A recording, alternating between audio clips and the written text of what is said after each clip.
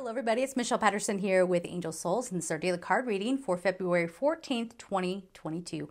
Happy Valentine's Day, everybody. So, for this whole week, I'm going to be pulling romance cards for the dailies. If that bothers you, I'll catch you next week. It's all good. Pick up any other video that you would like to watch. And don't be afraid to go back and watch old videos because they really are timeless. So, just see if there's a message in there for you. All right, so for today, what do we have? We have true love. Oh, nice. So, this is the romance of a lifetime.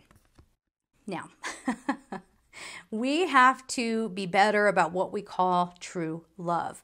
So, this is the day where maybe for some of us, you know, you're completely convinced that this is my true love partner, but maybe there's some big lesson about what that means.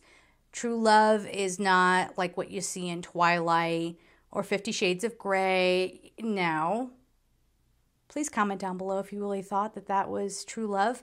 True love is not that. True love is I'm not going to make you feel bad if you are tired and don't want to get up and go out.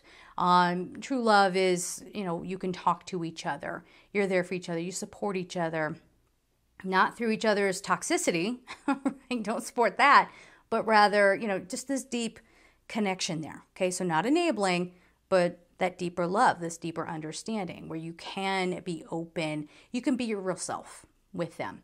So I think a lot of you today are realizing how do I get that? Or just being clear in your intentions so that you can manifest true love. All right, we're to leave it there. I'm sending you all so much love and take care.